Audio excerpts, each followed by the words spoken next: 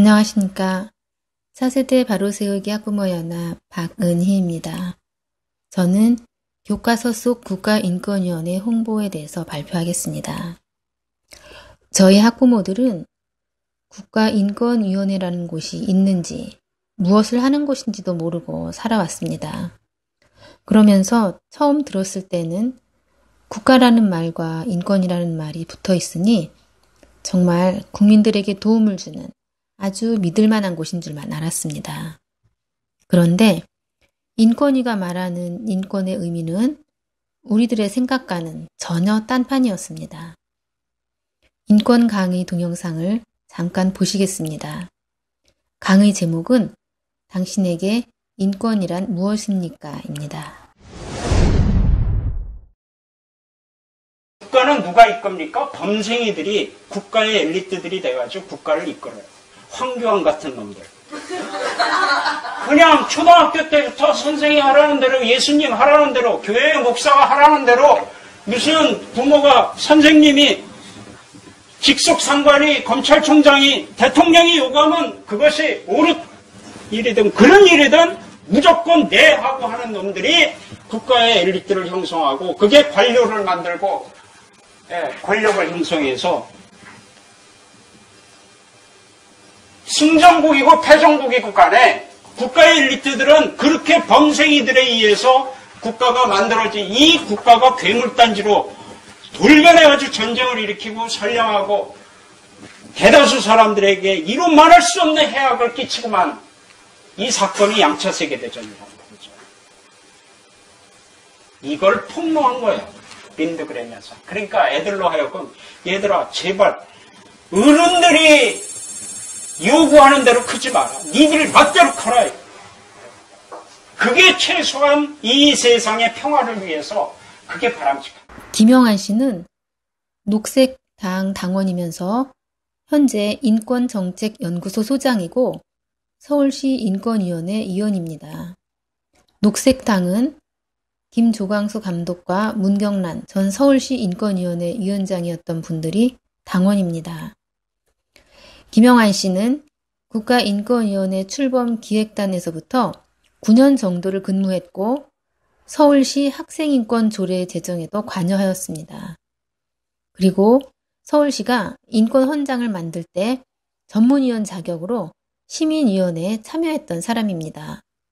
또한 세종시 인권 증진 및 보장 기본 계획 수립에 관여해서 세종시가 2015년에 4,800만 원의 비용을 지출하면서 연구 용역을 김영한 씨가 소장으로 있는 인권정책연구소에 의뢰하였습니다. 이분처럼 우리가 보기에는 너무나 비뚤어진 인권교육의 열심인 국가인권위원회의 정책이 우리 자녀들의 교육 속으로 깊숙이 스며들어와 있습니다. 교과서의 어떤 부분은 국가인권위의 홍보지로 전락한 듯한 안타까움마저 듭니다. 또한 인권위 공고에 따라 만들어지고 있는 학생 인권 조례, 성교육 프로그램 등을 통한 폐해는 빨리 손쓰지 않으면 우리 아이들이 다 망가지겠구나 하는 위기감마저 들어서 마음이 급해집니다. 자료들을 함께 보시겠습니다. 먼저 2003년도에는 인권위가 동성애 표현 매체물이 청소년들에게 해롭지 않다고 청소년 유해 매체물에서 삭제하려는 권고를 하자 여성가족부가 그 권고를 받아들여 삭제를 해버렸습니다. 2005년도에는 동성애에 대한 인권위 보고서를 작성하였습니다. 인권위 보고서 내용은 다음과 같습니다. 동성애 조장을 반대하는 신문 기사나 동성애가 윤리 도덕에 어긋난다는 공문 내용, 이성애가 정상이라는 상담 모두를 동성애 차별로 간주한다고 했습니다. 그리고 동성애 차별 금지법을 통과시키기 위해 동성애자를 위한 법령 개정, 교과서 개편, 동성결혼 합법화를 위한 정책을 제안했습니다.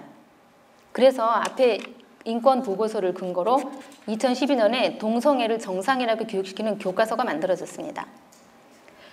2006년에는 동성애가 포함된 차별금지 법안 제정을 권고했고 2008년에는 인권 영화라고 하는 별별 이야기 2를 제작해서 전국 초중고등학교에 상영을 권고했습니다. 이 영화는 여섯 편의 이야기로 되어 있는데 장애인 이야기, 직장 여성의 출산 이야기, 다문화 가정의 이야기 등과 함께 거짓말이라는 제목으로 남자 동성애자들 4명의 이야기가 들어 있었습니다. 여자 동성애자들의 표현 장면이었고요. 남자 동성애자 중 한 명이 여자처럼 행동하는 모습입니다. 제가 이 영화를 직접 보면서 만약 우리 아이들이 본다면 어떻게 느낄까 생각해 보았는데요. 동성애자들 정말 불쌍하구나.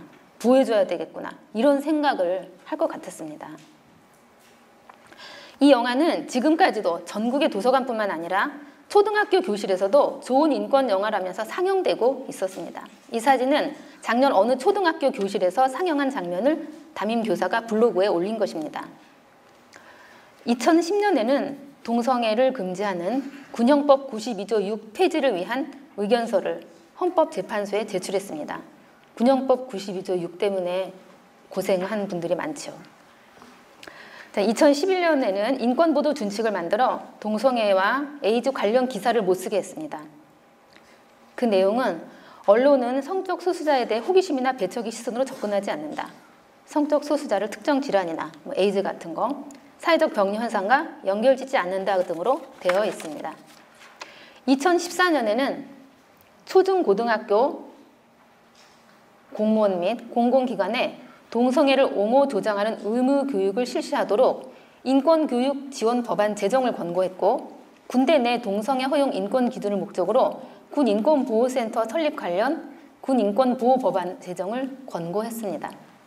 요새 국민들 사이에서는 20대 국회에서 동성애 조장하는 그 국가인권위법 제2조 사망 성적 지향을 즉각 삭제하라는 주장이 계속되고 있습니다.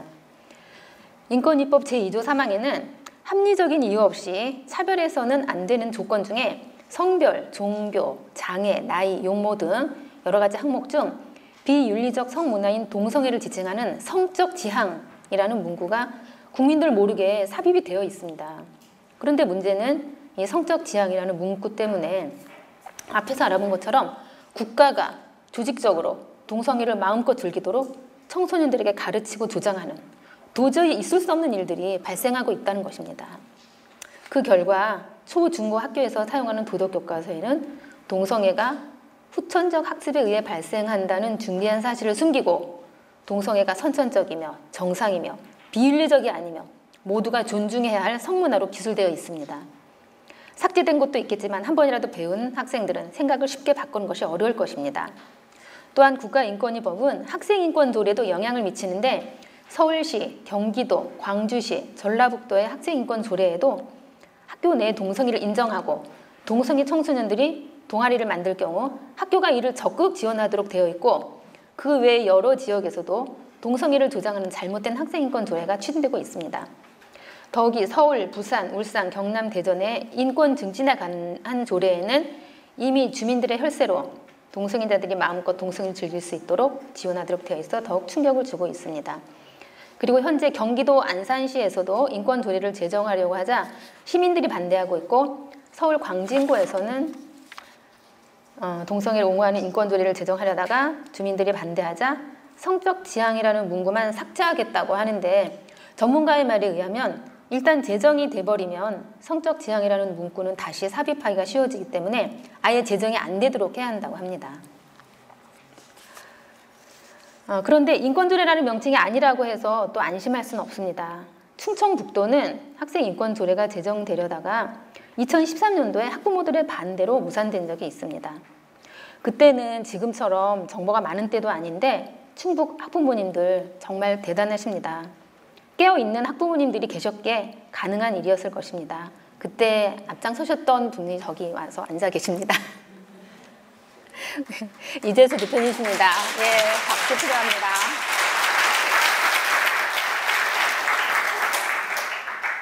인권 조례가 통과되면 인권 교육을 강제로 받게 되는데 이번에는 그 나쁜 인권 교육의 결과를 잠깐 알아보겠습니다.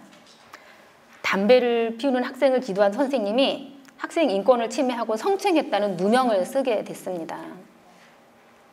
다음은 고등학생들이 빗자루 등으로 기간제 교사를 폭행한 이른바 빗자루 폭행 사건의 가해 학생들이 6개월 동안 피해 교사에게 비행을 저질러 온 것으로 드러났습니다.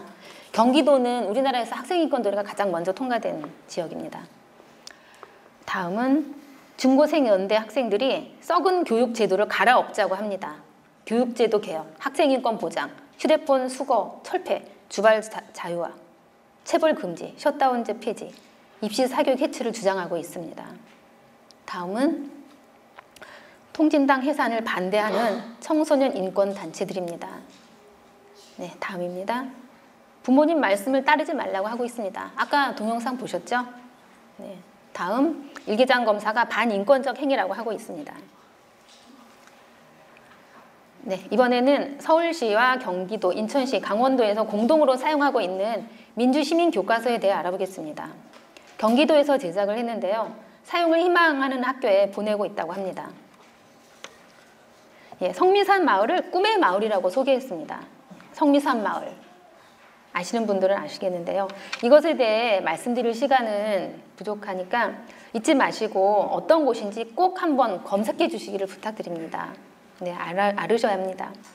그 다음 학생들에게 장래 직업으로 학생 인권 옹호관을 추천하고 있습니다.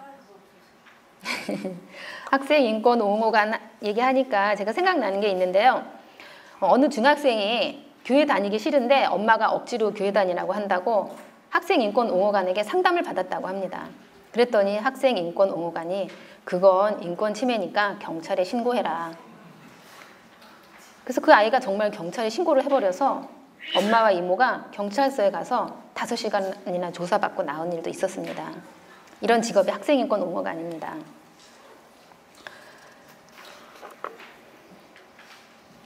자, 그 다음에 국가인권위원회를 홍보하고 있습니다. 각종 법과 정책을 인권의 눈으로 보고 개선할 것들을 찾아냅니다. 이렇게 찾아낸 것을 여러 정부기관에 권고하여 고치게 하기도 하고 인권의식과 인권의식을 높이기 위한 홍보활동을 하기도 합니다. 라고 기술하고 있습니다. 얼마나 좋아 보이는지 모릅니다. 그런데 현재 전 세계에서 인권 침해가 가장 심한 북한의 인권 문제를 위해서는 국가인권위원회가 무엇을 하고 있는지 거의 찾아볼 수가 없어서 너무나 안타까웠습니다. 동성애자들 위한 인권 활동에는 이렇게 열심히면서 말입니다. 다음에 이제 세상을 향해 어퍼컷이라는 책을 소개하고 있습니다. 어, 내용 중에 동성애자들의 인권에 대한 내용이 들어있고 저자는 국가인권위원회에 근무하고 있습니다. 이런 내용, 책 내용들을 보면 거의 동성애하고 에이즈하고 관련이 없는데 과학적으로 다 증명이 됐는데 어, 사람들이 모르고 반대한다 이런 내용들이 꼭 들어 있습니다. 다음에는 전태일 평전을 쓴 조영래 인권 변호사를 소개하고 있습니다. 음, 동성애자들을 다음입니다. 동성애자들을 특별한 보호를 받아야 하는 사회적 약자라고 기술하고 있습니다. 다음입니다. 국가인권위법 제2조 3항을 그대로 소개하고 있습니다.